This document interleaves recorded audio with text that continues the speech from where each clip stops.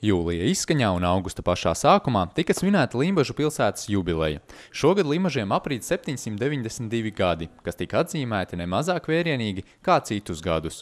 Svētku programmā ik viens varēja atrast sev tīkamāko nodarbi, taču pilsētas svētku atklāšanā iedzīvotāji un viesi sanāca vienu vietu, lai būtu kopā svinīgajā svētku ceremonijā.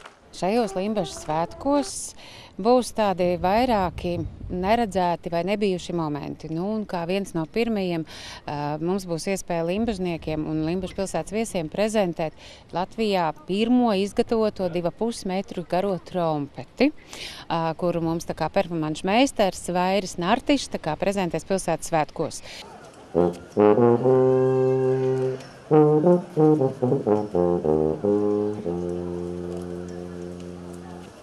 Pēc vaira Nārtiša uzstāšanās sakoja Limbažu domas priekšsēdētāja svētku uzruna, kurā viņš norādīja, ka pilsētas svētki ir laiks, kad atpūsties un atskatīties uz gada laikā paveikto. Katru gadu mēs varam novērtēt, kas ir padarīts, kā izskatāmies no jauna, kā mūsu viesis vērtē. Un, un šodien arī eh, uzrunājot mūsu kolēģis un draugus no, no sadraudzības pilsētām, mēs saņemam labus atzinīgus vārdus.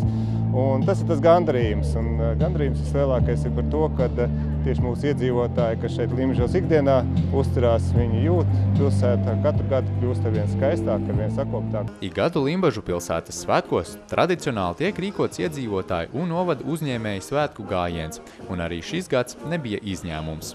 Kuplā skaitā gājiena dalībnieki devās cauri pilsētai līdz Lielzera pludmalei, kur svinības turpinājās ar sportiskām aktivitātēm. Kādas sajūtas atklājot Limbažu svētkus? Tīri normāls, pirmo reizi gājienā. Un kādas sajūtas pirmo reizi ejot? tā, tā, ka viņš teica, tiešām tā patīkam. Vai jūs zināt, uz kurien jūs ejat? Mēs ejam uz Lielu zaru. Ko jūs tur darīsiet? Es īsti nezinu. Skatīsimies, kas tur notiks. Galvenais svētku sajūta. Protams. Jūs varat pastāstīt, kas pa instrumentu ir?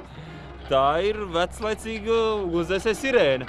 Kāpēc viņi jums šobrīd ir līdz šeit? Nu, šodien brīvprātīgie ir uh, gājienā, brīvprātīga ugunsdzēsēja biedrība iet gājienā, un tad viņi ir kā atribūts mums līdzi. Kāda sajūta ejot gājienā? Lielisks. Tikai sirēna bišķi paskaļi brīžam darbojās, bet sajūtas lielisks. Sveiciens super skolotājiem, kādas emocijas ejot gājienā? Ļoti labas un ļoti interesantas. Pirmo reizi piedalāties Slimažas svētkos? Mēs jau piekto gadu. Jā, mūsu skolā ir 5 gadi, un mēs piekto reizi arī piedalāmies. Kāpēc jūs esat superskolotāji? À, tāpēc, ka mēs esam vislabākās. Mūsu skolā ir tikai vislabākie, visattraktīvākie, visinteresantākie skolotāji. Sveiki! No kurienes jūs esat un kāpēc uz velosipēdiem?